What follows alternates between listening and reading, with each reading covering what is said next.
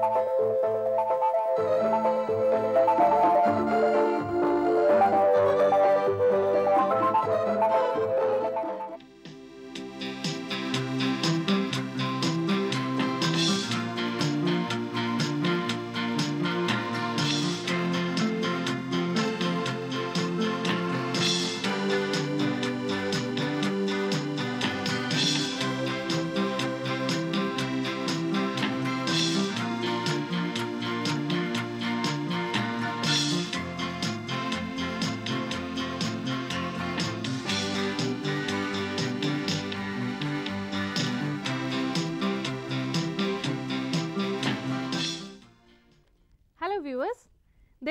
objects which are inaccessible to us height wise. For example, the top of a tree, pole, mountain peaks, an aeroplane flying at some height and distance wise for example, width of a river, a ship, the distance of a ship from the shore as the case may be. A right angled triangle provides us an easy way of solution for finding these unknown heights and distances given any two other sides using Pythagoras theorem. But finding out distance is more inconvenient than finding out an angle. So, how does an angle help us in finding out unknown heights or distances using a triangle? The branch of mathematics which deals with the measurement of the sides of a triangle is called trigonometry. It has formed from the words trigonon meaning triangle plus metron meaning measurement. Trigonometry is generally used in solving problems related to astronomy, engineering surveys, navigations etc. To understand this, let us perform this experiment. These are two right angled triangles with the same base angle. That means, the angle the acute angle in both these triangles are equal and one angle is 90 degree in both these triangles. The two triangles are similar by AA similarity. That implies that two triangles are similar then their corresponding sides will be proportional. That means, in this case the ratio of the perpendicular upon the base of this triangle will be equal to the ratio of the perpendicular upon the base of this triangle. So, if the perpendicular in the first triangle is 10 units and the base is 8 units, then this ratio will be equal to the perpendicular which we have to find out and we have for this moment taken it as x upon the base that is 16 units. That gives us the perpendicular of this triangle that is x is equal to 160 upon 8 which is equal to 20 units. Similarly, if there is another right angle triangle having the same base angle that is theta, then in that triangle also the ratio of the perpendicular to that of the base will be equal to the ratio of the perpendicular to the base of these triangles. That implies that in similar triangles using ratio we can find out unknown sides of a triangle for a particular angle. These ratios have been in use for since early times. They have been termed as sin theta, cos theta, tan theta, where theta is an acute angle in a given right angle triangle. This is a right angle triangle, right angled at B. This is the angle of reference, we call it as theta. Then the side AB is called the perpendicular, the side BC is called the base and the side AC is called the hypotenuse. But in case we take angle A as the angle of reference or theta, then in that case side BC becomes the perpendicular, side AB becomes the base and side AC becomes the hypotenuse. So, in order to avoid this confusion, we say that if this is the angle of reference, then AB is instead of calling it as perpendicular, we call it as the side opposite to the angle theta and BC we call it as the adjacent side instead of saying that this is the base and AC remains as the hypotenuse. In that in this case sine theta spelled as S I N E in brief we call it as S I N, but read it as sine theta. This is the ratio of the side opposite to the angle theta to that of the hypotenuse. In this particular triangle sine theta is AB upon AC. Cosine theta spelled as C O S I N E in brief which is written as cos theta and also read as cos theta is the ratio of the adjacent side to that of the hypotenuse. In this particular case cosine theta or cos theta is BC upon AC. Tangent of angle theta which is in brief called as tan theta is nothing but the ratio of this side opposite to the angle theta to that of the adjacent side. In this particular triangle tan theta is equal to AB upon BC. Besides sine, cosine and tangent of an angle theta, there are three other trigonometric ratios named as cosecant, secant and cotangent of an angle theta where cosecant of angle theta which is written in brief as cosec theta is equal to the ratio of the hypotenuse to that of the side opposite to the angle theta. In this particular case it is AC upon AB, but we know that the ratio of AB upon AC is sine theta. So, this ratio that is AC upon AB or hypotenuse upon the side opposite to the angle theta is reciprocal of sine theta or we write cosec theta as 1 upon sine theta. Then secant theta which is in brief called as sec theta is the ratio of the hypotenuse to that of the adjacent side.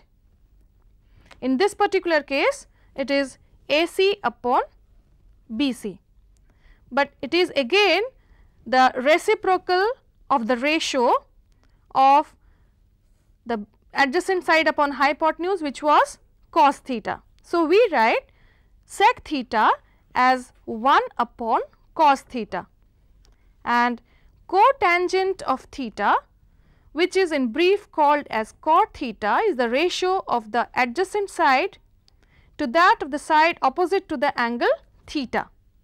In this particular triangle it is BC upon AB. Again we find that this ratio is the reciprocal of the ratio of tan theta which was the ratio of the side opposite to the angle theta to that of the adjacent side and therefore, cot theta is written as 1 upon tan theta. Out of these 6 ratios, if any one of the ratios are given, we can find out the other 5 ratios. Let us see how. Suppose we are given that sec theta is equal to 5 upon 4 and we have to find out rest of the 5 ratios. For that let us draw this right angle triangle.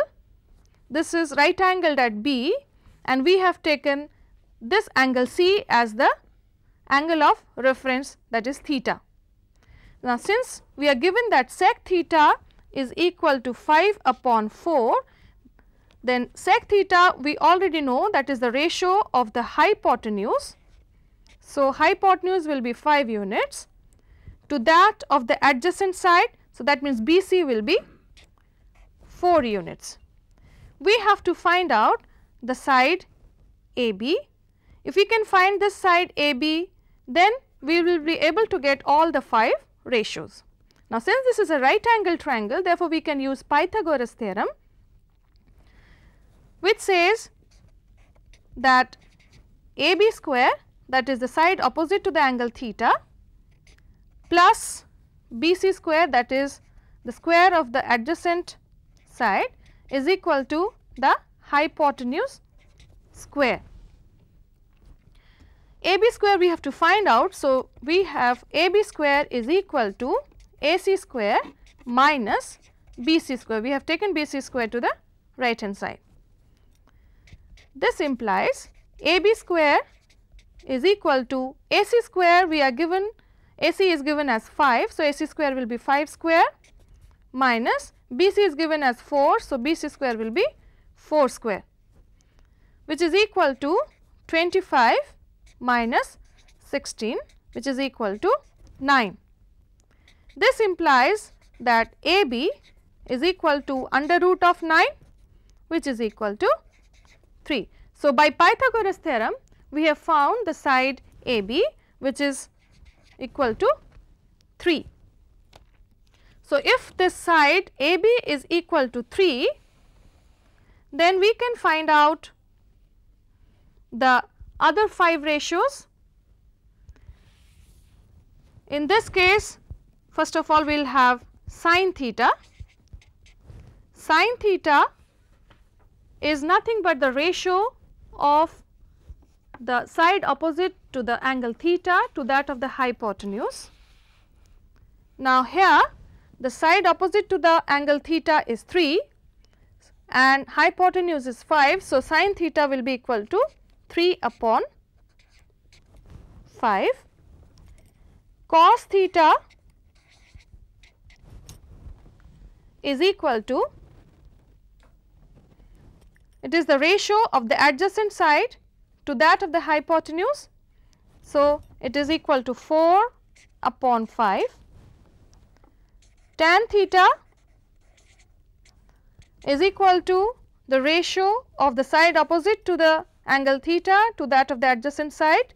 So, this is equal to 3 upon 4 cosec theta it is the ratio of the hypotenuse to that of the side opposite to the angle theta that is 5 upon 3. From here also we can find out cosec theta because we know that cosec theta is reciprocal of sine theta. So, if sine theta is 3 upon 5 then cosec theta becomes 5 upon 3. Sec theta we are already given and cot theta it is the ratio of the adjacent side that is BC upon the uh, side opposite to the angle theta. So, this is 4 upon 3. You can again verify that since cot theta is reciprocal of tan theta. So, if tan theta was 3 upon 4 then cot theta becomes 4 upon 3. Thus, we found that given any one ratio we can find out the values of other 5 ratios. As we have already said earlier that finding out a distance is more inconvenient than finding out an angle.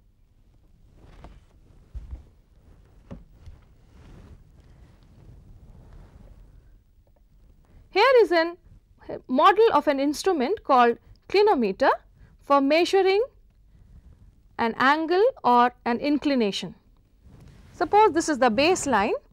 If you want to measure the angle, first of all we have to read the angle made here 70 degree here, then we will measure this or incline it to towards the top of this object. And again see the readings here. It is 120 here.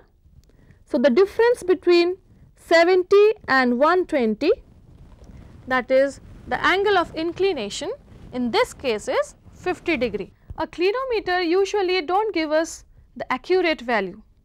A more sophisticated instrument which gives us accurate value is called sextant. It is usually used by navigators and in engineering survey purposes.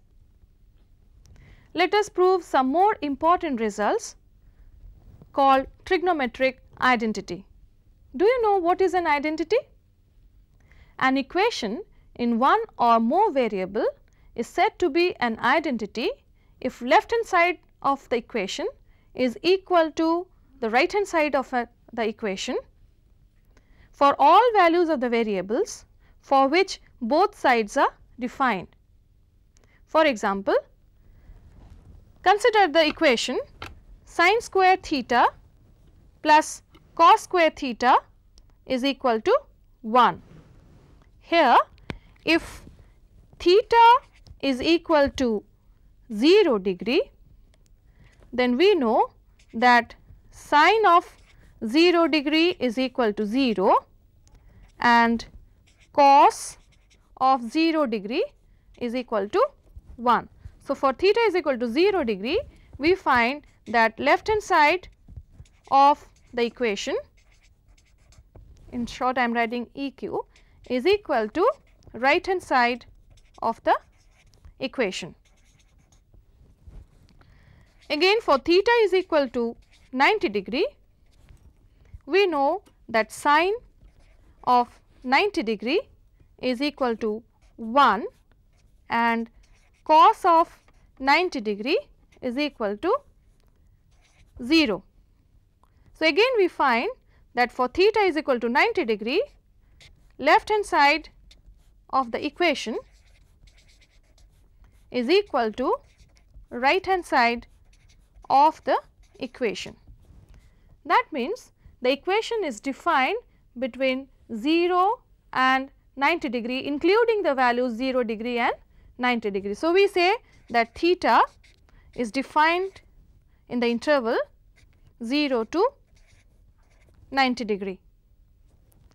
Now, for any other acute angle, let us take the angle acute angle ABC. We have taken this angle theta here. Let us take any point x on this side AB other than A and from x let us drop a perpendicular to the side BC. This perpendicular is xy. Then this triangle XBY is right angle triangle, right angled at y. Now, in this case also sine theta will be equal to the side opposite to the angle theta that is xy. Sine theta is equal to xy upon hypotenuse that is bx and cos theta is equal to the adjacent side upon the hypotenuse that is by upon bx.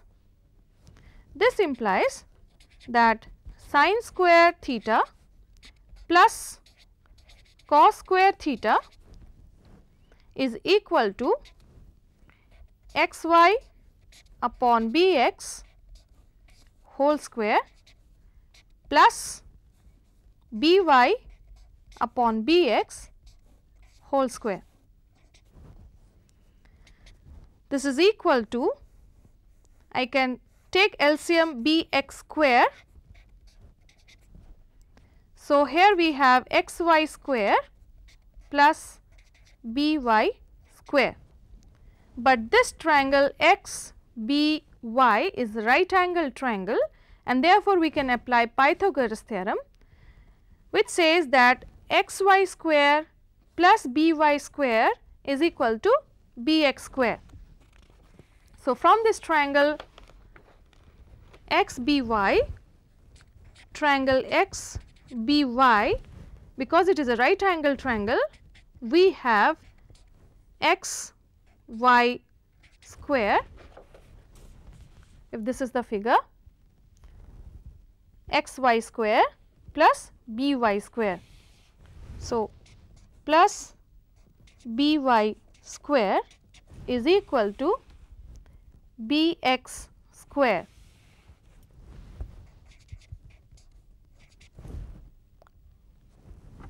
So, now our this expression xy square plus by square can be replaced by bx square as we have just now proved.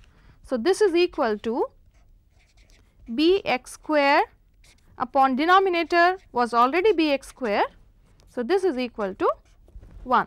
So, thus we proved that sine square theta plus cos square theta is equal to 1. This equation holds for every value of theta or it is satisfied for all values of theta and therefore, by a condition this equation that is sine square theta plus cos square theta is equal to 1 is an identity. Consider another equation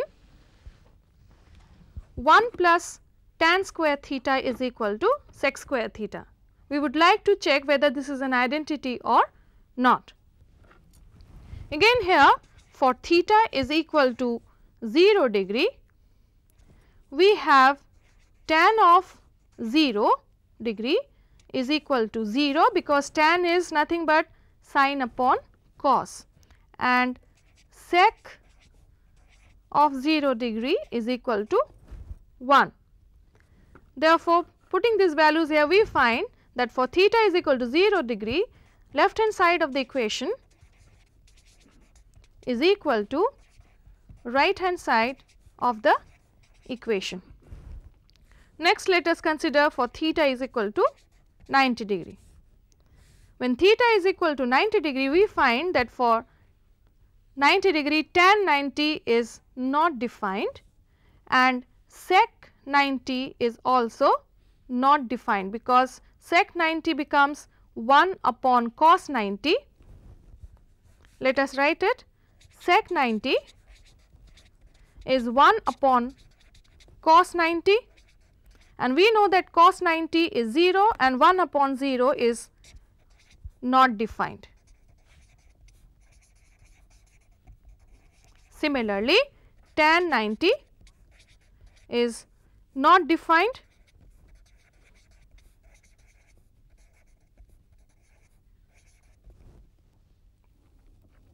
That means for theta is equal to 90 degree this equation is not defined. So, the equation is defined for theta greater than equal to 0, but less than 90 degree. For any other angle theta, we know that tan theta is equal to sine theta upon cos theta and sec theta is equal to 1 upon cos theta. So, left hand side of the equation which was 1 plus tan square theta becomes 1 plus sine square theta upon cos square theta. This is equal to I can take cos square theta as the LCM cos square theta here and this becomes cos square theta plus sine square theta. But just now we have proved that sine square theta plus cos square theta is equal to 1. So, we can use that identity here and replace this cos square theta plus sine square theta by 1. So, this expression becomes 1 upon cos square theta and we know that 1 upon cos square theta is nothing but sec square theta. So, thus we proved that 1 plus tan square theta is equal to sec square theta. This equation is satisfied for all values of theta and therefore, it is an identity. Look at another equation 1 plus cot square theta is equal to cosec square theta. Again we would like to see whether it is an identity or not. So, first of all see for theta is equal to 0. When we put theta is equal to 0, we find that cot theta is not defined.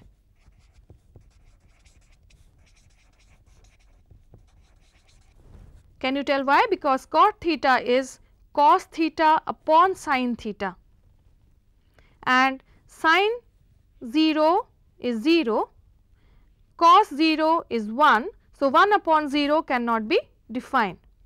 Similarly, cosec theta is again not defined because cosec theta is 1 upon sin theta.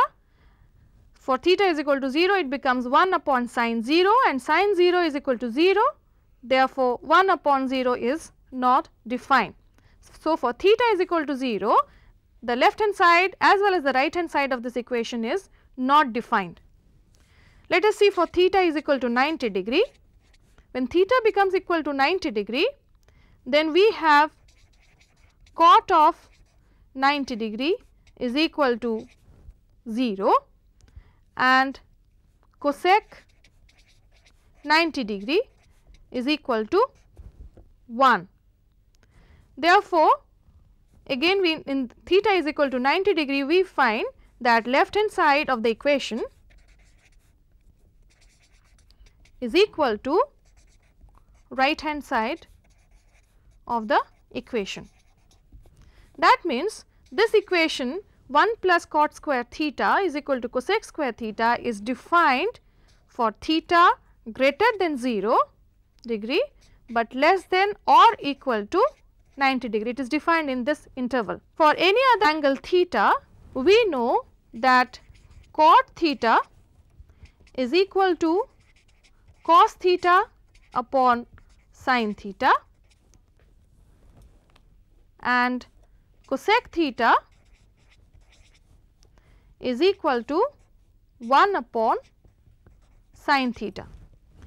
Now, the left hand side of the equation is 1 plus cot square theta which can be written as 1 plus cos square theta upon sin square theta. Again from here we can take sin square theta as the LCM. So, writing sin square theta here, we get sin square theta plus cos square theta and we have already proved that sin square theta plus cos square theta is equal to 1 is an identity. So, replacing this sin square theta plus cos square theta by 1, we get the expression 1 upon sin square theta we know that 1 upon sin theta is cosec theta. Therefore, 1 upon sin square theta is equal to cosec square theta which is the right hand side of the equation. Thus, we find that 1 plus cot square theta is equal to cosec square theta. These are three basic identities which are further used in proving other identities. Before we finish today's lesson, let us have a quick recapitulation of what all we learned today. We learned that the ratio of the side opposite to the angle theta upon hypotenuse is equal to sin theta. The ratio of the adjacent side to that of the hypotenuse is called cos theta. The ratio of the side opposite to the angle theta to the adjacent side is called tan theta and cosec theta is reciprocal of sin theta, sec theta is reciprocal of cos theta and cot theta is reciprocal of tan theta. We learnt about trigonometric ratios and identities connecting them today. They will be useful in finding out unknown heights and distances which are inaccessible to us in our daily life. Thank you.